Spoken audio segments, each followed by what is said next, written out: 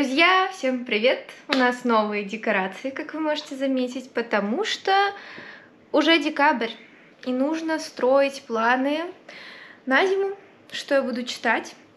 А, это был большой челлендж для меня, потому что в последнее время у меня появилось довольно-таки много книг на полках, и я очень долго думала, что бы я хотела почитать этой зимой. Как показывает опыт предыдущего видео, которое я снимала про свои осенние планы, и в итоге что получилось? В целом строить планы можно, потому что я плюс-минус им следую. Понятное дело, что я не уверена на сто процентов, что я буду читать 100, вот именно эти книги, потому что, ну, сами понимаете, а, настроение может поменяться, но мне кажется, что большинство все-таки а, останутся и я их э, в итоге прочитаю. В общем, наливайте себе чего-нибудь вкусненького, тепленького, и давайте начнем. Расскажу, что я планирую читать этой зимой. Друзья, если вам нравятся мои видео, пожалуйста, поставьте палец вверх, пишите комментарии, напишите то, что вы хотите читать этой зимой. Может быть, что-то вы можете порекомендовать мне а, такого зимнего, атмосферного, уютного. Так что давайте встретимся с вами в комментариях и обсудим, как обычно, книжки. И огромное спасибо всем тем, кто уже со мной, кто смотрит, кто ставит лайки и пишет комментарии. Мне очень приятно, меня это мотивирует снимать больше, читать больше и делиться с вами. Итак, начну с декабря. На декабрь я подготовила себе четыре книги, по моему мнению, супер, мега должны быть атмосферными. И открою... Ой, главное не снести елку. И я уже одну из них начала читать, мне уже очень нравится. Я прочитала полкниги, она на самом деле атмосферная. Там э, события происходят зимой, два моих любимых города, но об этом уже во влоге. Во-первых, я буду с этой книгой а, выкладывать и в процессе съемки этого влога нахожусь. В общем, это Марк Миллер «Полночь, Нью-Йорк». Во-первых, Нью-Йорк. Все прекрасно знают, что, наверное, Нью-Йорк это самый такой зимний город, потому что, во-первых, там самые культовые классные зимние фильмы сняты, атмосфера просто шикарная, поэтому в целом неудивительно, почему я решила взять эту книгу, это должна быть легкая ну, я вот уже не знаю, насколько она легкая, потому что, ну, в общем, это должна быть романтическая история э, о двух людях, которые встречаются, влюбляются и т.д. и т.п. в самом прекрасном городе э, этого мира. И вот с такой красивой декорацией в виде зимы, Нового года и какого-то волшебства. Я ее уже начала читать, и ну, о ней поподробнее расскажу в соответственном влоге. Следующая книга, но ну, это супер тоже должна быть новогодняя книжка Софи Кинселла «Шипоголик и Рождество». Ничего ни разу в жизни не читала у Софи Кинселла, хотя тысяча один раз слышала о том, что ее книги очень легкие, прекрасные, и стоит их периодически читать, чтобы поднять настроение и поверить э, во что-то хорошее. Ну, тут, мне кажется, тоже особо нечего сказать, потому что шопоголик и Рождество. И Каспер нельзя. Итак, все ясно, должно быть очень атмосферно, максимально по-зимнему. Извините, пожалуйста, если вы слышите э, шарики, там Каспер, он видит, что я занят, и он понимает, что я его сейчас не наругаю, и поэтому он сидит и в общем, занимается своими делами. Прочту быстро аннотацию. А, Бекки возвращается домой из США, чтобы как следует отметить Рождество. Родители устроят традиционную семейную вечеринку а, с пением рождественских гимнов. Мама снова будет делать вид, что сама приготовила пудинг, а соседи зайдут на рюмочку шерри в жутких праздничных свитерах.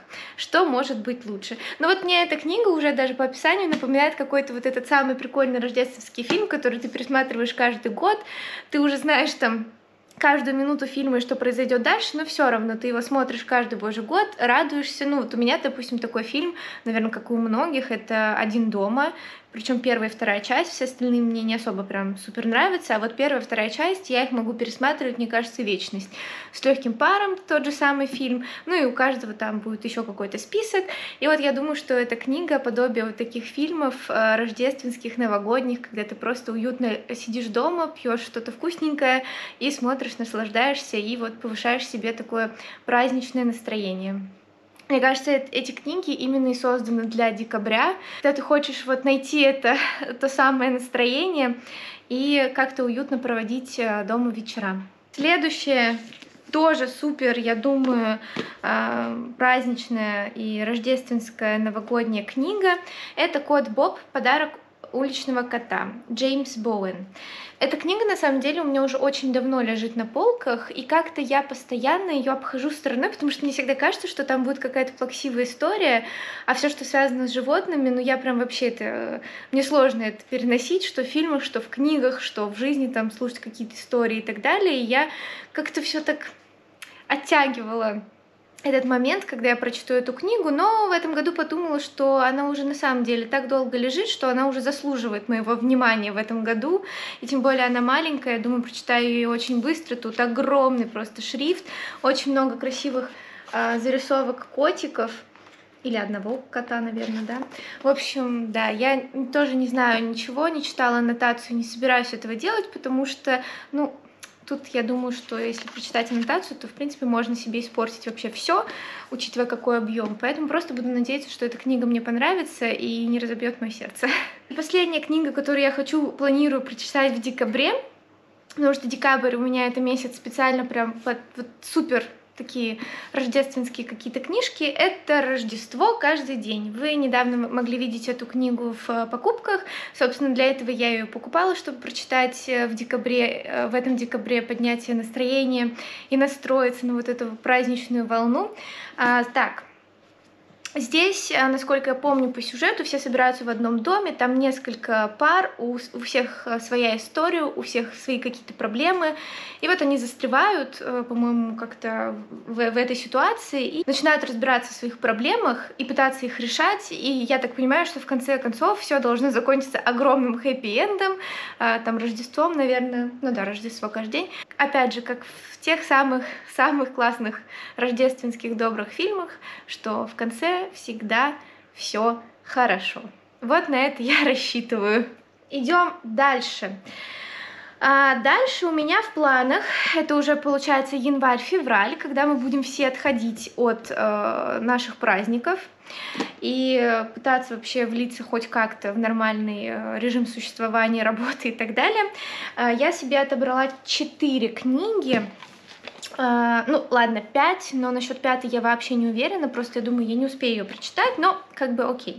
Первая книга это «Семь мужей Эвелин Хьюга».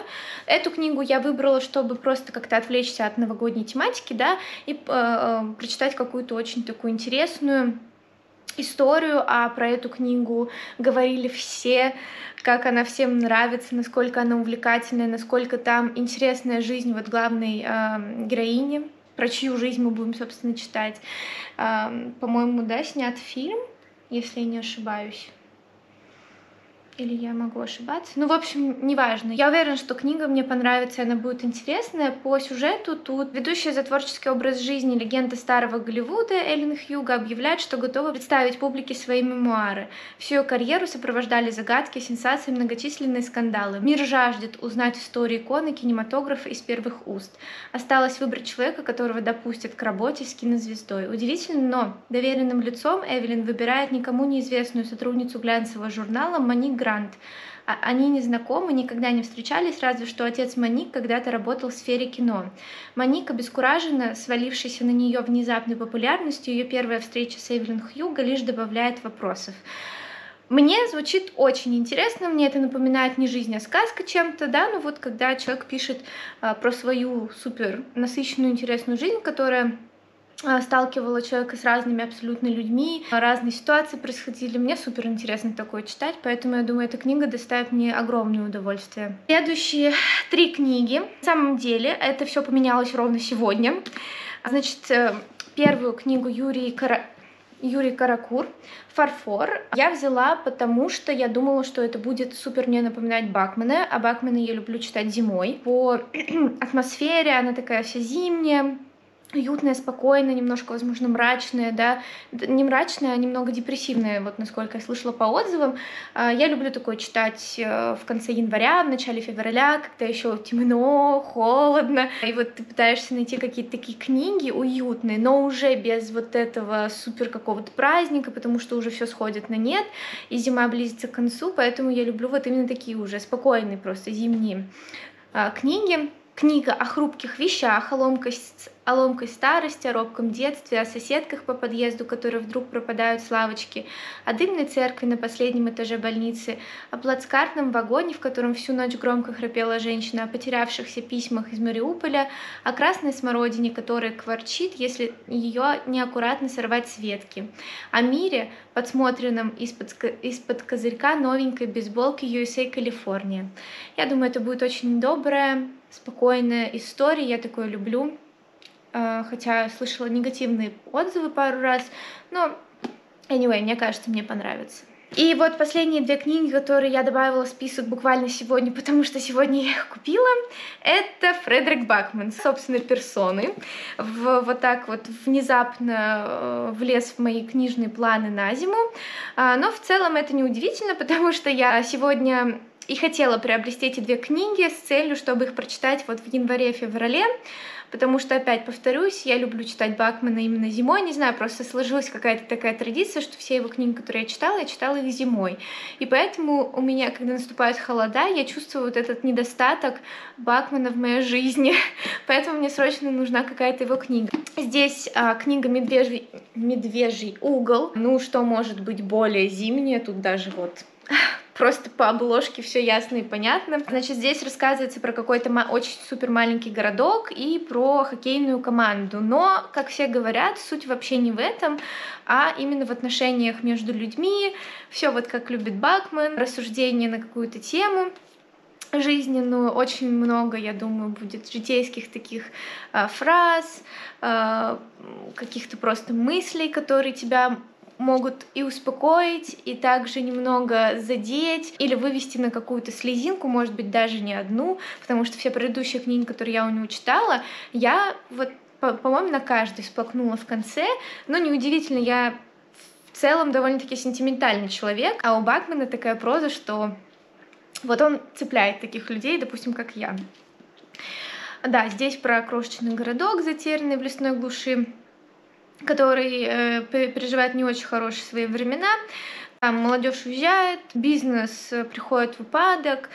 И вот, кроме, пожалуй, одной, на берегу озера стоит введенная много лет назад ледовая площадка, на которой тренируется местная хоккейная юниор, юниорская команда. Если команда, если команда прорвется в национальный полуфинал, то об этом городке заговорят по всей стране. И как знать, может быть, это даст городу шанс на э, возрождение. Ой, мне кажется, это будет трогательная и тяжелая история. Не знаю, почему. Вот у меня есть какие-то такие ощущения. Может быть, я, конечно, ошибаюсь. Надеюсь, опять же, эта книга не разобьет мне сердце. вот, поэтому, да, буду читать. И надеюсь, мне понравится.